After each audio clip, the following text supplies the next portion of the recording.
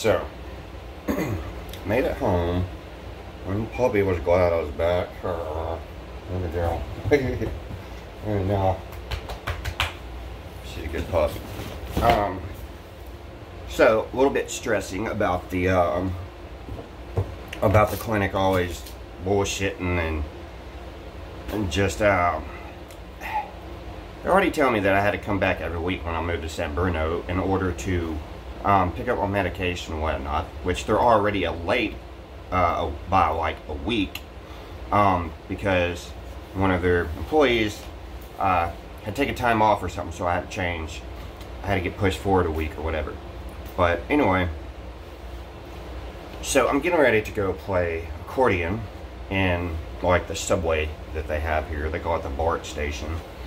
Um, and I'll probably record some of that. There's a good Wi-Fi there, and I can upload a lot of things while I'm there.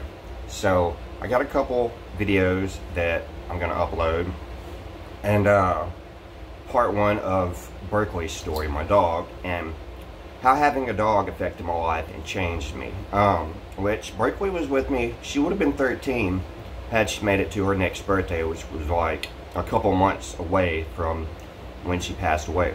She passed away on Halloween night um, a little over a year ago. Uh, so, um, my first, you know, real episode of my story, I'm going to touch on that because it's important to know about her um, and, like, the impact that she had on my life.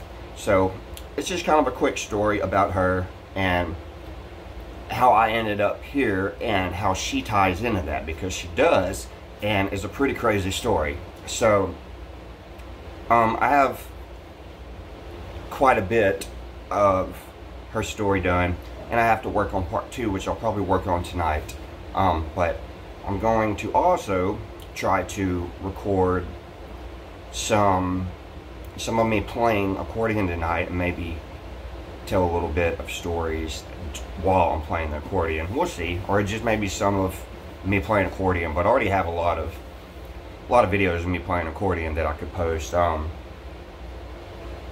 I just uh, got to get to somewhere where I can upload them all and put them in a folder. Um, so I'm going to work on organizing a lot of that stuff tonight, and then maybe the next time I go play accordion, I'll upload a lot more um, videos all at once. So just bear with me because I got tons of stuff to go through I'm trying to separate it by folder and whatnot. But um, I'll work on it, and then I'll also make updates about what I'm going through and like how my reintegration into society, how it's, I mean, it is tough because I've lived so much apart from society for so long, trying to get back into it, it's pretty crazy. And even me, I mean, it's almost been a year since I've been here and had this apartment.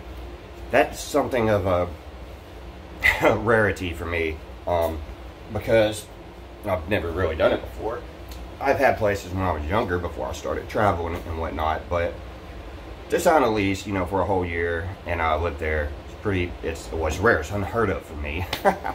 um, well, like I said, I did have a place in Louisiana a few years back for eight months, but after the job was done, I left. Um, so, yeah, I'm going to head to play accordion because not only is it peaceful and it's something I enjoy, it just kind of takes me away from everything. I get to meet people and talk to people, and that's a cool aspect. And I make money as well um, while I do it. Um, so, because I play for donations. Um, so, uh,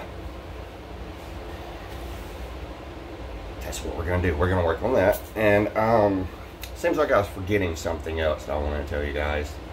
Um, it's I'm gonna try to talk about in the present time what I'm doing now and everything, um, the difficulties and whatnot, and how weird it is to try to reintegrate yourself back into society. And I'm not trying to do this forever. It's mostly for health issues and stability issues right now, and so I can focus on preparing for what I want to do next in life. And I'll talk about that in one of my videos as well.